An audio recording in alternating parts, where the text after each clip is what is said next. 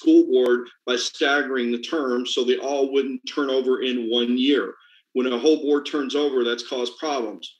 Well, instead of just amending that, uh, the governor has now decided to make this a partisan issue and and try to throw out the whole board by having a special election this year, and that would cost the taxpayers money.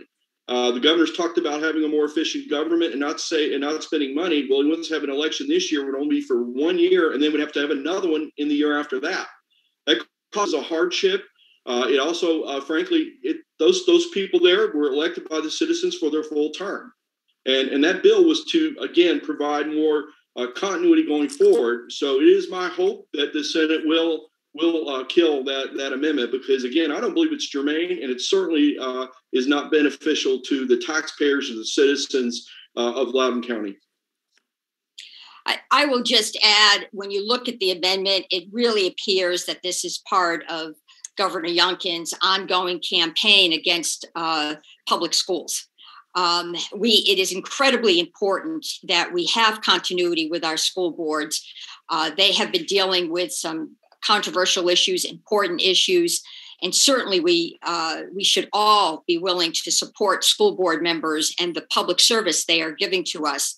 So to act to, to take the rug out from under them and ask all of them to run again uh, in 2022 with for no good reason.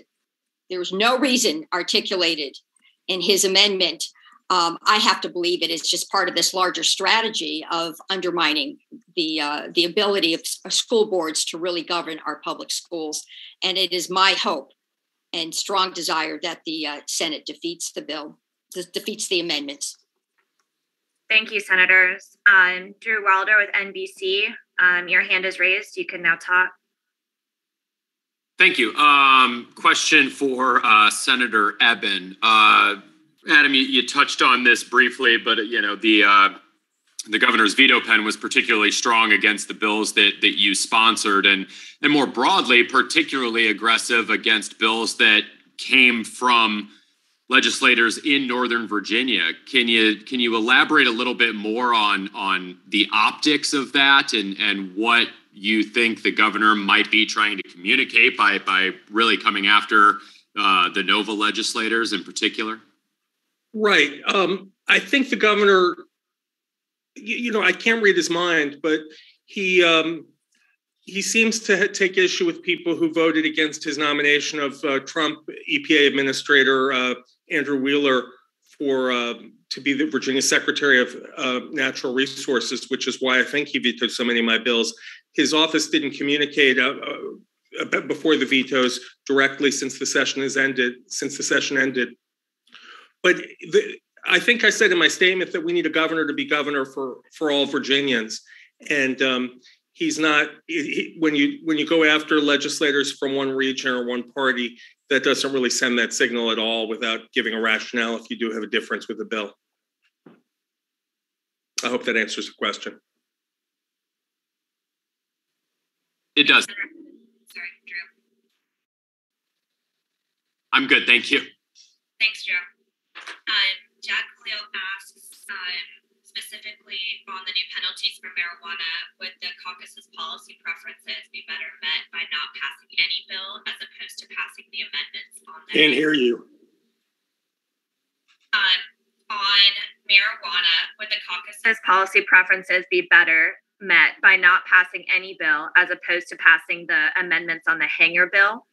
And do these actions affect the caucus's thoughts going into budget negotiations? I'll take a crack at that if that's okay.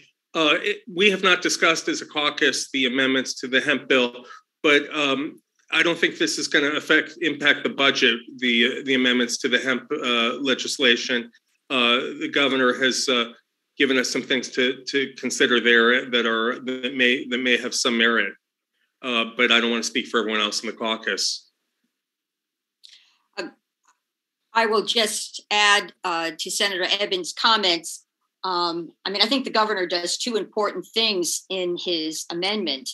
Um, one, he sort of draws the line on the delta eight uh, uh, tetrahydrocannabinol uh, oil uh, uh, threshold, which I think is an important amendment, actually. And regarding the budget implication, there is language in his amendment that directs the Cannabis uh, Control Authority to implement, uh, to the degree possible, as much um, enforcement um, as would be appropriate for the uh, for the task at hand.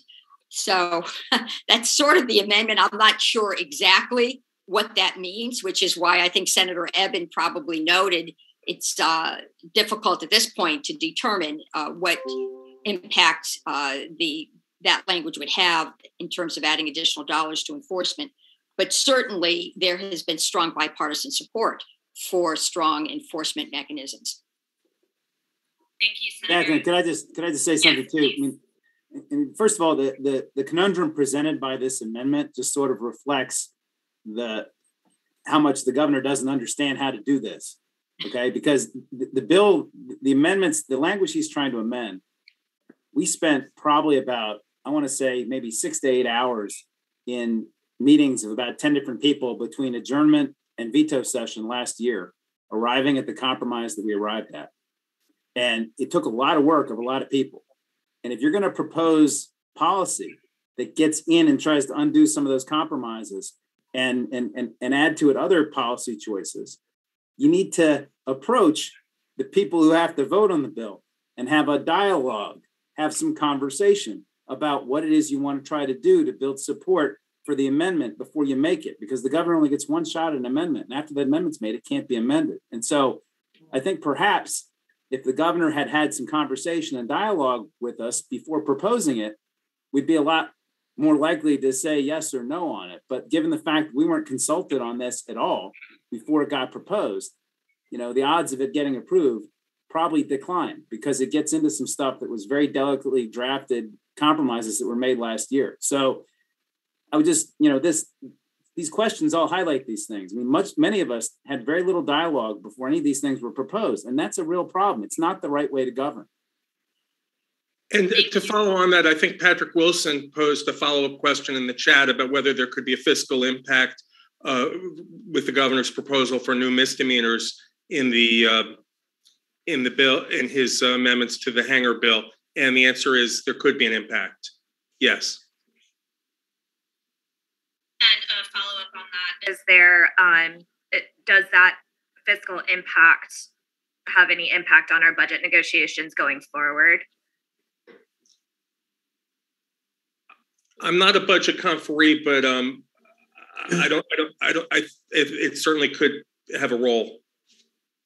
That would have to be determined. I would, I would hope that I would hope that it would not, um, and I think that um, they're they're moving towards uh, an agreement, and uh, I don't think that uh, while it's not helpful, I don't think this will stop it.